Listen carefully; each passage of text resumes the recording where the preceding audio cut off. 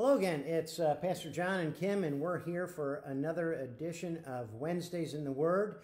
We're continuing our study at uh, by David Ramos, a look at the book of Job entitled Enduring with Job. A great topic for what uh, where we find ourselves today. We are now on session three, so if you want to catch back up, if you're just joining us for the first time, uh, the last two Wednesdays we've posted the first uh, two of the studies.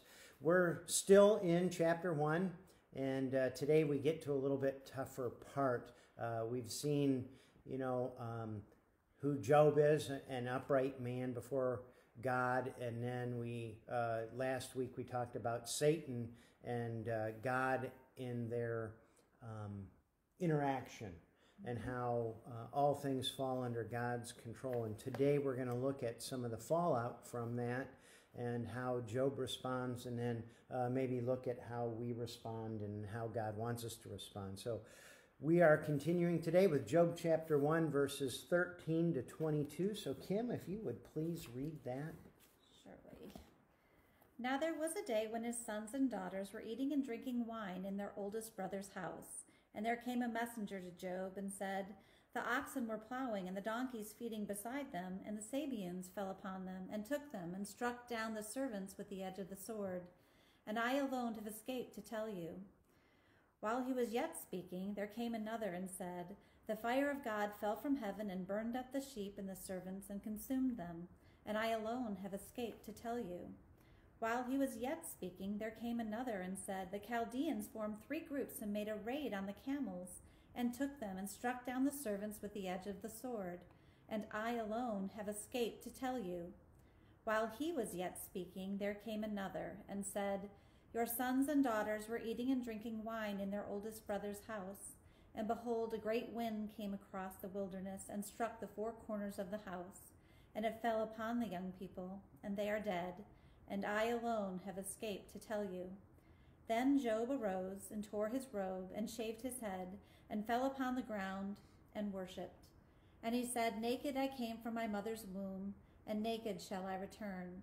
The Lord gave, and the Lord has taken away. Blessed be the name of the Lord.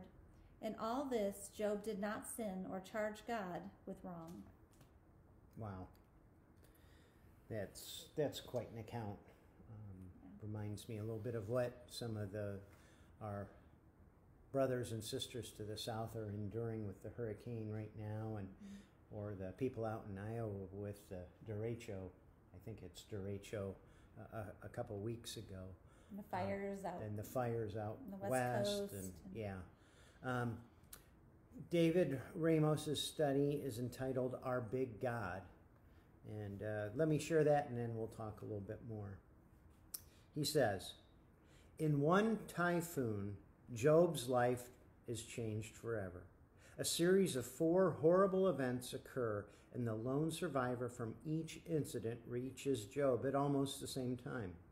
First, a group of donkeys and oxen are stolen. A costly loss, but one that can be dealt with.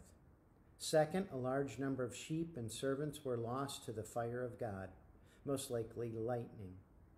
Third, Job was robbed again, this time by a group of people who stole his camels and murdered his servants.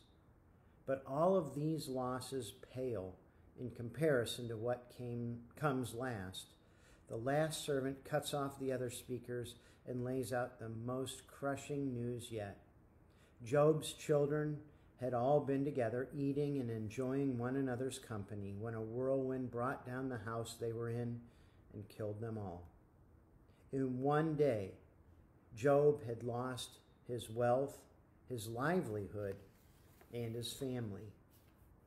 Crushed, Job falls to the floor and cries out, I came into this world with nothing, and I will leave this world the same way. God gave to me, and he can take away. Praise God. Through it all, Job did not sin. At this point, he refused to be completely destroyed. He trusts God and continues to see God's sovereignty in every event. He could have blamed the people who hurt him, or evil, or anything, but he didn't. His first reaction to pain was to lean into God. I love this, but I'm also extremely challenged by it because this is not how I react to pain. When bad things happen, I do the opposite of Job. I blame people, circumstances, myself. I stress out when things don't go according to plan and pray nervous, angry prayers instead of praising God. Job could react the way he did because he saw God in a way we do not, as big. It was never a question to Job who allowed these things to happen. He says right away that God gives and, and God takes away. Do we see God as that big? Do we trust that God really does have his hand in everything? As we will see, everything Job believes about God will be challenged, even this. And I believe the only way we can grow is when we challenge our beliefs uh, about God as well.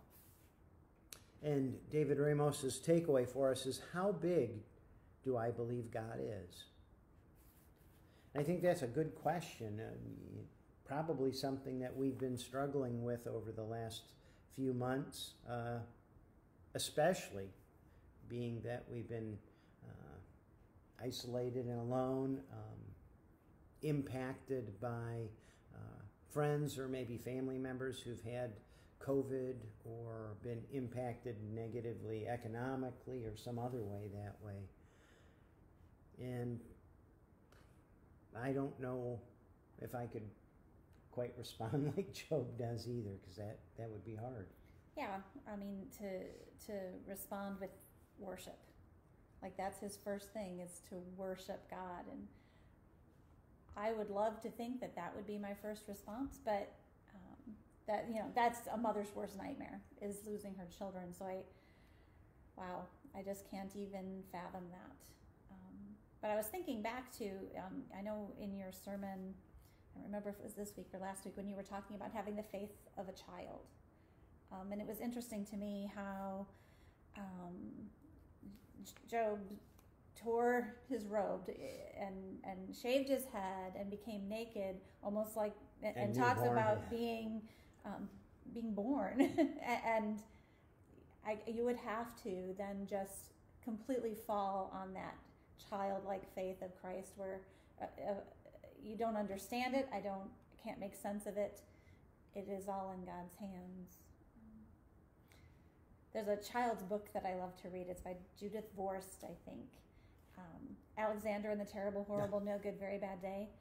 And um, this remind when, when they're coming and saying, you know, oh, by the, let me tell you this. And then there's a, the next bad thing and the next bad thing because in the book Alexander he goes to sleep with gum in his mouth and now there's gum in his hair and throughout the day the cat goes adds, to sleep right. with Anthony not with me and it's just like you know every every five minutes in Anthony's life he has a bad day um, but th- to lose everything is more than just a bad day. That Right. is a uh, Will rock you to your core. Right and challenge every belief you have. I think. And I think it, it, you know, God uses that to reveal what's at the core as well. Uh, not only to reveal it though, because he, he's not, he doesn't need to reveal it to himself. He knows what's there. Um, maybe to reveal it to us, but also to um, help grow it in us as well as we see going through this. Um, you know, we opened it up with Job being a righteous man, and yet throughout this, we're going to see some things where um, there were some things that, that God wanted to draw out of Job and, and grow in him as well. Um, it's it's just a tough lesson. Yeah. So we um, we thank you for uh, joining us and allowing us to come into your life today. And and I'm not sure what um, experiences you're going through that that may be Job like. Um, we all have have those moments. Um, but I do know that our God is big, and He's far bigger than than any of the issues that we have going on. We saw that as, you know, what we started to reopen in per- person uh, at, at church and are starting to have some more meetings and, and looking at how we continue to gather, even while we do it cautiously because I know the numbers are kind of going back up in places as well. But yet, we've been through a lot, and God has has grown us all in our knowledge of this and in how to do some things safely. And uh, you know, we step out each day in, in faith because um, we don't know what the day will bring, what messenger might come our way, but uh, we do know a God who is in control of it all. And we can respond with worship, having lives that worship, not just sanctuaries that Right. worship. Yeah. Right, and that's probably one of the big things that we've gotten to take out of these last eight months is we can still serve and worship God, and we don't have to be in a particular building. We can gather here. Um, we can gather anywhere, and uh, so I hope that's a word of encouragement for each of you. We are again honored that you would uh, allow us to share with you, and we look forward to uh, continuing to gather with you here, gather with you more in person. Um, don't forget our Tuesdays together at the church parking lot. Uh, those are fun. We've now had two. This last week, I think either people forgot that we were having it or uh, it was a little chilly. But bring a blanket, bring, bring you know, some, some a hot beverage. a hot beverage, and uh, we'll just spend some time seeing each other uh, face to face a little bit, social distanced, Yeah. and um, but being able to have a little bit of fellowship together. It's it's very encouraging, and as we can see coming up in Job, if if you know any of the story, uh, that fellowship is important. Being surrounded by by people, so. God's blessings and uh, hope you continue to remain well. Uh, have a great night, and we look forward to seeing you again next week in Wednesdays in the Word. Have a good night. Night. Bye.